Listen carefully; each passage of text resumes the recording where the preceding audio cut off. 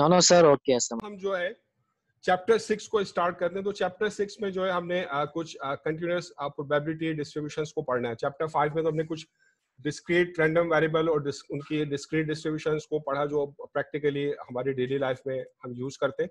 तो अब यहाँ पे जो है चैप्टर सिक्स है इसमें अब हम जो है कंटिन्यूस रैंडम वेरिएबल्स और आ, कुछ कंटिन्यूस प्रोबेबिलिटी डिस्ट्रीब्यूशन को हम स्टडी करेंगे। तो इस पे हम जो है दो इंपॉर्टेंट जो कंटिन्यूस डिस्ट्रीब्यूशन को पढ़ेंगे। एक तो आपके पास एक कंटिन्यूस यूनिफॉर्म डिस्ट्रीब्यूशन है।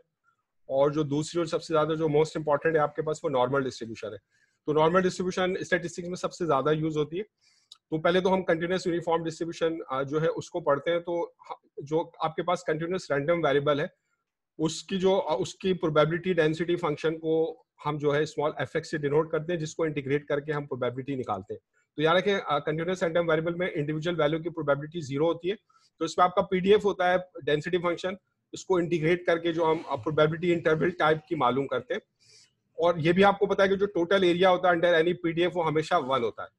या दूसरे अल्फाज में जो आपके पास कोई भी कंटिन्यूस रैंडम वेरिएबल का पीडीएफ है एफ़ एक्स जिसको आप इंटीग्रेट करेंगे माइनस इन्फिनिटी से इन्फिनिटी तक तो ये आपको टोटल एरिया अंडर पीडीएफ मिलेगा तो that is always equal to one तो ये ऑलरेडी ये बातें आप जानते हैं। तो अब इसमें आज पहले जो है हम कंटिन्यूस यूनिफॉर्म डिस्ट्रीब्यूशन पढ़ते हैं। तो ये जो कंटिन्यूस यूनिफॉर्म डिस्ट्रीब्यूशन है, ये one of the simplest continuous distribution है। सबसे सादा, सबसे आसान कंटिन्यूस डिस्ट्रीब्यूशन है। यूनिफॉर्म का मतलब क्या है? यूनिफॉर्म का मतलब ये है कि जो प्रोबेबिलिटीज होगी ऑफ़ एनी इंटरवल वो यूनिफॉर्म होगी यानी वो सेम होगी।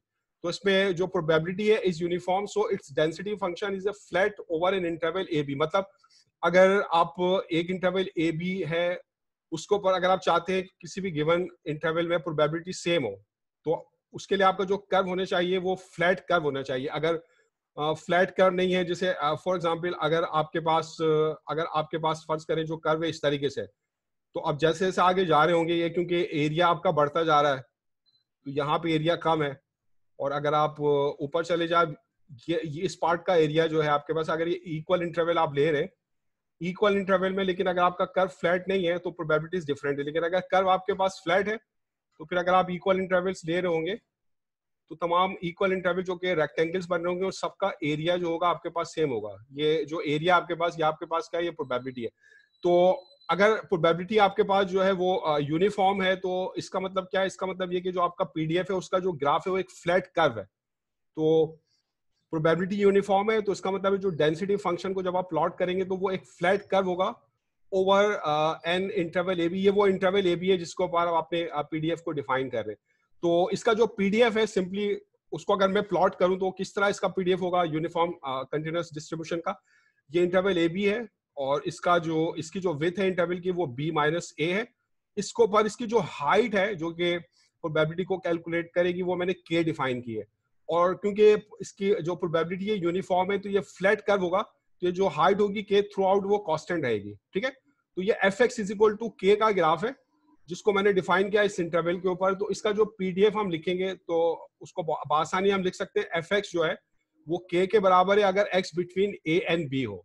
और एल्सवेयर एफ़ एक्स जो है आपके पास वो ज़ीरो है। इस रेक्टेंगल के बाहर, इस इंटरवल के बाहर पीडीएफ ज़ीरो है और इस इंटरवल के ऊपर पीडीएफ की जो वैल्यू है आपके पास एफ़ एक्स की वो के है। तो ये इसके पीडीएफ का जनरल फार्मूला है। आपके कंटिन्यूस यूनिफॉर्म डिस्ट्रीब्यूशन के पीडीएफ का ये जनरल फार्मूला है। और इसमें जो आपके पास इसका जो ग्राफ होगा, वो एक रेक्टेंगल बनेगा। इसका जो F X is equal to इस पीडीएफ का जो ग्राफ होगा आपके पास, वो आपके पास एक फ्लैट कर्व होगा। तो अब इसमें हम ये मालूम करना चाहते हैं कि वट इज़ के के की वैल्यू क्या होगी? अच्छा अब आप देखें, आप गौर करें। अगर आप गौर कर रहे हो तो एक्चुअली असाइनमेंट से आपको असाइनमेंट में जो आप फंस रहे हैं ना, यहाँ से मदद मिल जाएगी आपको, थोड़ी बहुत। तो अगर मैं के निकालना चाहूँ तो वो मैं किस तरह निकाल सकता हूँ? तो अब मुझे पता है एस के जो आपके पास पीडीएफ होता है, इसका जो इंटीग्रल है माइनस इन्फिनिटी से इन्फिनिटी तक वो वन है तो इस प्रॉपर्टी को यूज़ करके मैं के निकाल लेता हूँ। तो अब इसमें जो एफएक्स आपको दिया हुआ इसमें जो इंटरवेल होगा, उसको अगर आप ब्रेक करेंगे तो वो ब्रेक होगा माइनस इन्फिनिटी से ए तक, फिर ए से बी तक और बी से इन्फिनिटी तक। तो वो दोनों तो ज़ीरो हो जाएँगे दस ये वाला सर्वाइव करेगा ए से बी तक। तो ए से बी तक आप इंटीग्रेट करें एफ़ को, जिसमें एफ़ के है के कॉन्स्टेंट है, इसको इंटीग्रेशन से बाहर लिया है। तो यहाँ पे वन बचा, वन का इंटीग्रल एक्स है, ये अपर और लोअर लिमिट पुट कर दे। एक्स की जगह पहले अपर लिमिट बी फिर लोअर लिमिट ए तो बी माइनस ए तो यहाँ से के आपके पास हो गया one upon B minus A तो इस तरीके से जो आपके पास डेंसिटी फ़ंक्शन है, एक कंटिन्यूस यूनिफॉर्म डिस्ट्रीब्यूशन का, जिसको आप एक इंटरवल ए और बी पर डिफाइन करते हैं तो उसके डेंसिटी फ़ंक्शन का फॉर्मूला क्या होगा? जो इसके PDF F X that will be equal to one upon B minus A अगर X between A and B है, और एल स्क्वायर ये ज़ीरो है तो देखें, क्योंकि आप चाहते हैं कि जो टोटल एरिया हो आपके पास, वो वन हो। मतलब यहाँ पे जो टोटल एरिया वो इस रेक्टेंगल का एरिया है। रेक्टेंगल का एरिया किस तरह निकालते हैं? उसकी हाइट को विथ से मल्टीप्लाई करते हैं। तो अगर इसकी विथ बी माइनस ए है तो हाइट क्या होनी चाहिए के ताकि ये टोटल एरिया वन आए? तो हाइट जो है वो इस विथ का रेसिप्रोकल होना चाहिए, ताकि जब हम इन दोनों को मल्टीप्लाई करें तो यानी K one upon B minus A होना चाहिए, ताकि जब मल्टीप्लाई करें तो B minus A B minus A से कैंसिल और एरिया हमें वन मिले। तो आप इस तरह भी देख सकते हैं। तो ये आपके पास जो है एक कंटिन्यूस यूनिफॉर्म डिस्ट्रीब्यूशन के पीडीएफ का फार्मूला है। इसमें जस्ट ए और बी की वैल्यूज़ जो है वो आपको पता होनी चाहिए। तो ये आपके पास है F X is equal to one over B minus A for X between A and B elsewhere वो ज़ीरो है। तो अब इसमें जो आपके पास uh, इसका जो डेंसिटी फ़ंक्शन है आपके पास उसमें आप देख रहे हैं वो रेक्टेंगल बनता है जिसकी विद बी माइनस ए है और उसकी जो हाइट है वन माइनस बी है। इसलिए हम कंटिन्यूस यूनिफॉर्म डिस्ट्रीब्यूशन को जो है रेक्टेंगुलर डिस्ट्रीब्यूशन भी कहते हैं क्योंकि इसका पीडीएफ फ्लैट होता है। तो इसमें जो आपके पास एरिया की डायग्राम बनती है रेक्टेंगल बनती है तो हम इसको रेक्टेंगुलर डिस्ट्रीब्यूशन भी कहते हैं। ये एक और नाम है इसका। तो इसमें जो इंटरवल है आपके पास ऑन विच ये यूनिफॉर्म डिस्ट्रीब्यूशन इज़ डिफाइन यानी जो इंटरवल ए बी है, ये क्लोज भी हो सकता है, यानी इसमें दोनों एंड पॉइंट शामिल भी हो सकते हैं और ये ओपन भी हो सकता है। ऐसा भी हो सकता है दोनों एंड पॉइंट शामिल ना हो, क्योंकि जो इंडिविजुअल प्रोबेबिलिटी है वो हमेशा ज़ीरो होती है तो इसलिए कंटिन्यूस में जो है आप इक्वलिटी लें या ना लें, यानी क्लोज कर दें या ओपन कर दें, इससे कोई फ़र्क नहीं पड़ता, ठीक है? दोनों सूरतों में जो है आपका पीडीएफ का फॉर्मूला सेम होगा। अब हम इसकी एक्सरसाइज करते हैं। अभी एक्सरसाइज आपके पास 6.3 तो अब 6.3 में है कि daily amount of coffee in litres coffee की अमाउंट लीटर में है तो ज़ाहिर है कॉफ़ी की जो अमाउंट है वो कंटिन्यूस है। वो डिस्क्रीट नहीं है। तो ये कंटिन्यूस रैंडम वेरिएबल की कितनी कॉफ़ी की अमाउंट है। तो ज़ाहिर है वो लीटर में होगी जो कि आप, आप मेजर करते हो।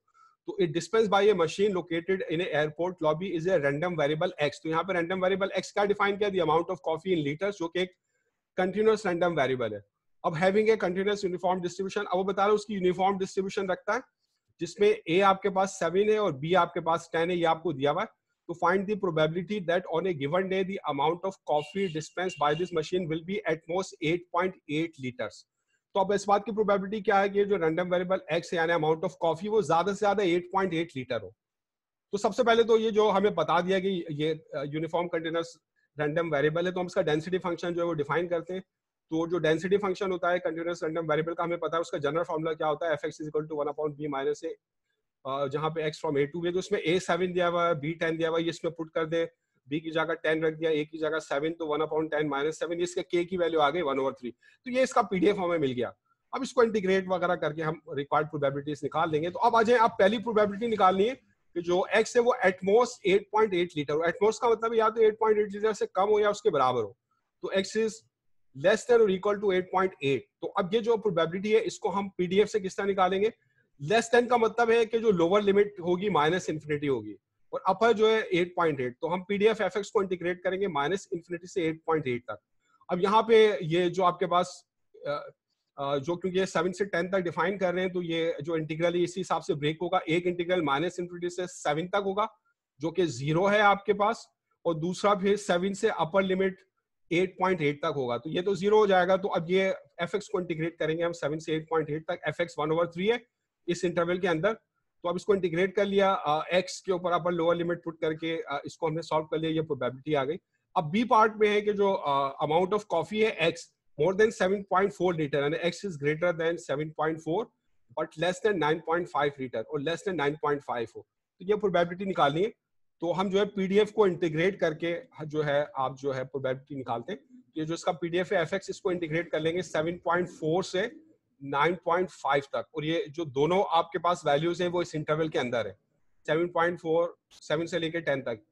तो एफ़ एक्स जो है इस इंटरवल में वन ओवर थ्री है तो सिंपली इंटीग्रेट कर लिया X upper lower limit put करके इसको सॉल्व कर लिया, ये प्रोबेबिलिटी आ गई। तो ये सबसे आसान आपके पास कैसे कंटिन्यूस डिस्ट्रीब्यूशन के लिए, फिर प्रोबेबिलिटी निकालेंगे X is at least 8.5 litre at least 8.5 का मतलब है एक्स इज़ ग्रेटर देन और इक्वल टू 8.5 तो इसको आप कॉम्प्लीमेंट से भी निकाल सकते हैं डायरेक्ट इंटीग्रेट करके भी निकाल सकते हैं। तो अब अगर आप ये प्रोबेबिलिटी निकालते हैं तो इसमें लोअर लिमिट आपके पास होगी 8.5 और ग्रेटर देन में अपर लिमिट होगी इन्फिनिटी जबकि अगर आप लेस देन निकालते हैं तो उसमें लोअर लिमिट होती है माइनस इन्फिनिटी तो अब इसमें ग्रेटर देन 8.5 का मतलब है हम एफएक्स को पीडीएफ को इंटीग्रेट करेंगे 8.5 से इन्फिनिटी तक। तो ये 8.5 से 10 और 10 से इन्फिनिटी तक में ब्रेक होगा। ये इंटीग्रल तो ज़ीरो है, ये खत्म हो जाएगा। तो जस्ट एफ़ को इंटीग्रेट कर लिया 8.5 से 10 तक और बाकी फिर इसको इंटीग्रेट करके मैंने सॉल्व कर लिया। ये सिंपल इंटीग्रेशन है आपके पास, ठीक है? इसी तरह इसका एक और क्वेश्चन हम देखते हैं 6.2 है आपके पास। तो मतलब suppose X follows a continuous uniform distribution X जो है वो कंटिन्यूस यूनिफॉर्म डिस्ट्रीब्यूशन फॉलो करता है। तो इसमें from one to five A one है इसमें और बी आपके पास फाइव है। तो डिटरमाइन द कंडीशनल प्रोबेबिलिटी ये कंडीशनल प्रोबेबिलिटी निकालनी है कि अगर if X is greater than 2.5 है, इसकी प्रोबेबिलिटी क्या होगी? ये स्लैश के बाद क्या बताते हैं? गिवन दैट जो इवेंट पहले हो चुका होता है। Given that X is less than is equal to four तो ये कंडीशनल प्रोबेबिलिटी हम निकालते हैं। तो अब डेंसिटी फ़ंक्शन हम पहले इसका निकाल लेते हैं। तो one over B minus A है, जब X from A to B होगा तो इसमें ए और बी पुट कर दिया बी फाइव ए वन है। तो ये इसका पीडीएफ हमारे पास आ गया। एफ़ एक्स है one over four for X between one and five for elsewhere zero है। तो अब हमें पता है कंडीशनल प्रोबेबिलिटी का फॉर्मूला क्या होता है? ये अगर आपको याद हो थर्ड चैप्टर में पढ़ा है तो conditional probability of B given that A तो ऊपर दोनों इवेंट के इंटरसेक्शन की प्रोबेबिलिटी निकालते हैं। Probability of A intersection B और नीचे जो गिवन दैट है ये हमारी न्यू यूनिवर्स है न्यू सैंपल स्पेस है, इसकी प्रोबेबिलिटी से डिवाइड करते हैं। तो ये कंडीशनल प्रोबेबिलिटी का फॉर्मूला मैं यहाँ पे यूज़ कर रहा हूँ। तो यहाँ पे जो दो इवेंट है आपके पास ए ए बी है आपके पास एक्स इज़ ग्रेटर देन 2.5 और ए है X is less than is equal to 4 तो ऊपर इन दोनों का मैंने इंटरसेक्शन ले लिया कि X is greater than 2.5 intersection X is less than four ये ए इंटरसेक्शन बी की प्रोबेबिलिटी है। और नीचे जो प्रोबेबिलिटी ऑफ़ ए यानी probability that X is less than 4 इसके प्रोबेबिलिटी से हम डिवाइड कर रहे हैं। तो अगर x ग्रेटर देन 2.5 हो और लेस देन 4 हो तो इसका इंटरसेक्शन क्या होगा? इसका इंटरसेक्शन होगा कि x is between 2.5 and 4 x is greater than 2.5 and less than equal to 4 ये इसका इंटरसेक्शन है, ठीक है? और फिर अब ये जो अभी हमारे पास, ये प्रोबेबिलिटी के इज़ बिटवीन 2.5 एंड 4 तो अब इसको हम निकाल लेते हैं, जो पीडीएफ है, इसको हम इंटीग्रेट कर लेते हैं फ्रॉम 2.5 से 4 तक। तो इस इंटरवल में ये इंटरवल जो है आपके पास ये इसके अंदर ही है वन से फाइव तक। तो इसमें एफ़ एक्स आपको दिया हुआ है। वन ओवर फोर वो हमने पुट किया। ये कॉन्स्टेंट बाहर निकाल लिया। वन बचा वन को इंटीग्रेट कर लिया। एक्स आया, ये अपर और लोअर लिमिट पुट करी अपर माइनस लोअर इसको सॉल्व कर लिया। तो ये प्रोबेबिलिटी आ गई कि एक्स इज़ बिटवीन 2.5 एंड 4 अब नीचे आप प्रोबेबिलिटी निकालते हैं कि X is less than is equal to 4 तो इसको भी मैं पीडीएफ को इंटीग्रेट करता हूँ। अपर लिमिट तो 4 है। लोअर लिमिट जो है आपके पास, वो आपके पास जो है वो माइनस इन्फिनिटी है। तो मैं एफ़ को इंटीग्रेट करता हूँ। माइनस इन्फिनिटी से फोर तक। तो अब इसको मैं ब्रेक कर लेता हूँ। ये इंटरवल के हिसाब से एक माइनस इन्फिनिटी से वन तक होगी और एक वन से फोर तक होगी। तो इसको ब्रेक कर लिया इंटीग्रल को माइनस इन्फिनिटी से वन तक और फिर वन से फोर तक। माइनस इन्फिनिटी से वन तक ये एल्सफेयर में आ रहा है, इसमें ज़ीरो है। तो ये ये इंटीग्रल तो ज़ीरो हो गया। जिस वन से फोर तक हमने एफ़ को इंटीग्रेट करना है, जिसमें F X one over four है, फिर उसको हमने सिंपली इंटीग्रेट कर लिया। ये दोनों प्रोबेबिलिटीज हमने न्यूमरेटर डिनोमिनेटर की कैलकुलेट कर लिया। अब इसमें पुट कर दें, ऊपर वाली probability point three seven five है। नीचे जो निकाली पॉइंट सेवन फाइव ये पुट करके सॉल्व कर ली तो ये हमारी रिक्वायर्ड कंडीशनल प्रोबेबिलिटी आपको मिल गई। समझ गए? यहाँ तक बात क्लियर है? किसी को कुछ पूछना है आपने? मसला तो नहीं है किसी को? क्लियर है बात? हाँ हेलो सही है? तो अब आगे आ जाए। अब इसी तरह ये क्वेश्चन है, इसके 6.4 है आपके पास। ये भी कंटिन्यूस यूनिफॉर्म डिस्ट्रीब्यूशन का क्वेश्चन है तो इसको आप जो है खुद करें। ये मैं आपको पास छोड़ देता हूँ। अब आ जाए अब ये जो मेरे पास कंटिन्यूस यूनिफॉर्म डिस्ट्रीब्यूशन है, अब मैं इसके मीन और वेरियंस को कैलकुलेट करता हूँ। तो मेरे पास जो जनरल फार्मूला है किसी भी कंटिन्यूस यूनिफॉर्म डिस्ट्रीब्यूशन का पीडीएफ का वो ये है कि पीडीएफ एफ़ एक्स जो है वो one over b minus a है for x between a and b और एल्सवेयर जो है वो पीडीएफ ज़ीरो है। तो अब सबसे पहले मैं इसका मेन निकालता हूँ। इसका मीन म्यू यानी इसकी एक्सपेक्टेड वैल्यू तो एक्सपेक्टेड वैल्यू ऑफ़ एक्स हम किस तरह निकालते हैं? अब डिस्क्रीट में हम सम यूज़ करते हैं और कंटिन्यूस में हम इंटीग्रेट करते हैं। तो इसमें हम एफ़ एक्स को पीडीएफ से मल्टीप्लाई करके इंटीग्रेट करेंगे from minus infinity to infinity तो अब इसमें क्योंकि ये from a to b define है तो ये इंटीग्रल जो है, ये ए टू बी हो जाएगा। और x और एफ़ एक्स की जगह ये मैंने पुट कर दिया फ्रॉम ए टू बी जो एफ़ एक्स है, इसकी value one over b minus a है। One over b minus a constant है, इसको बाहर निकाल लिया। तो अब हमने सिर्फ़ x को इंटीग्रेट करना है, इसको पावर रूट से इंटीग्रेट किया एक्स स्क्वायर ओवर टू फिर इसमें ये अपर और लोअर लिमिट सब्सटीट्यूट करेंगे तो पहले x की जगह b रख दिया तो ये बी स्क्वायर ओवर टू हो गया, फिर एक्स की जगह ए रख दिया तो minus a square over two हो गया, इसमें एलसीएम ले लिया टू तो ऊपर b square minus a square आ गया, इसको a square minus b square difference founder से एक्सपेंड कर लिया। B minus a, b plus है तो ये बी माइनस ए, ये one over b minus a, इससे कैंसिल हो गया। तो ये इसका मीन आ गया, b plus a over two या a plus b over two. तो जो कंटिन्यूस यूनिफॉर्म डिस्ट्रीब्यूशन है, ये इसके मीन की value a plus b over two. अब हम इसका वेरियंस निकालते हैं।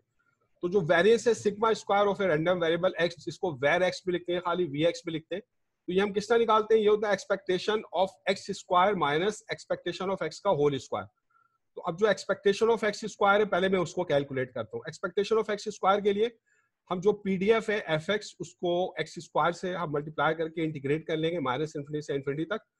तो अब हम इंटीग्रेट करेंगे ए से बी तक और एफ़ एक्स की जो वैल्यू है पीडीएफ की वो one over b minus a है, ये कॉन्स्टेंट है, इसको बाहर निकाल लिया तो हम खाली एक्स स्क्वायर को हमने इंटीग्रेट करना है फ्रॉम ए टू बी तो इसको पावर रूट से इंटीग्रेट किया, ये एक्स क्यूब ओवर थ्री है, फिर इसमें अपर और लोअर लिमिट पुट करी तो पहले b cube over three minus a cube over three हो गया एलसीएम ले लिया तो ये b cube minus a cube हो गया. तो इसको a cube minus b cube के फॉर्मूले से खोल लिया तो ये आपके पास है बी माइनस ए फिर बी का स्क्वायर फिर दोनों को मल्टीप्लाई करके साइन चेंज कर दिया b square plus a b और फिर प्लस ए का स्क्वायर तो ये बी माइनस ए इसको a a cube minus b cube से मैंने एक्सपेंड किया ये बी माइनस ए और ये बी माइनस ए कैंसिल हो गया तो ये एक्सपेक्टेशन ऑफ़ एक्स स्क्वायर हमें मिल गया। A square plus a b plus b square upon three ये तो एक्सपेक्टेशन ऑफ़ एक्स स्क्वायर की वैल्यू आ गई। समझ गया ना? किस तरह निकालिए। अब हम निकालेंगे एक्सपेक्टेशन ऑफ़ एक्स की वैल्यू तो ये निकालने की ज़रूरत नहीं है। ये ऊपर मैं निकाल चुका हूँ, ये एक्सपेक्टेशन ऑफ़ एक्स है। A plus b over two तो अब जैसे दोनों वैल्यू इसमें पुट कर दे एक्सपेक्टेशन ऑफ़ एक्स स्क्वायर मैंने निकाला a square plus a b plus b square upon three minus expectation of x था a plus b over two और इसका होल स्क्वायर तो ये a plus b whole square upon four है, इसमें एल्सियम ले लिया थ्री और फोर एल्सियम ट्वेल्व है. तो ये थ्री फोर जार ट्वेल्व फोर इससे मल्टीप्लाई होगा माइनस ट्वेल्व को फोर से डिवाइड करेंगे three three a plus b whole square से डिवाइड होगा, इसको a plus b whole square के फॉर्मूले से खोला, और फिर बाकी ये थ्री बाहर थ्री से मल्टीप्लाई कर दिया हमने। ये होगा a square plus two a b plus b square three से मल्टीप्लाई कर दिया, फिर ये सॉल्व कर लिया। तो ये मेरे पास इसका वेरियंस आ गया a square minus two a b plus b square upon twelve या बी माइनस ए का whole square divided by twelve b minus a क्यों किया? क्योंकि बी इज़ ग्रेटर देन ए है। तो ये आपके पास जो आपका यूनिफॉर्म डिस्ट्रीब्यूशन है, ये खत्म हो गई है। इस पे ये मीन और वेरियंस का फॉर्मूला हमने निकाल लिया। तो यहाँ तक बात समझ गए? इसमें कोई प्रॉब्लम है। तो समझ गए इसके वेरियंस का फॉर्मूला हमने किस तरह निकाला है? क्लियर है यहाँ तक बात? या किसी को कुछ पूछना है? हाँ। कुछ पूछना है किसी को? इसके अंदर बात क्लियर है? आवाज़ आ रही है मेरी? हेलो हाँ हेलो आवाज़ आ रही है?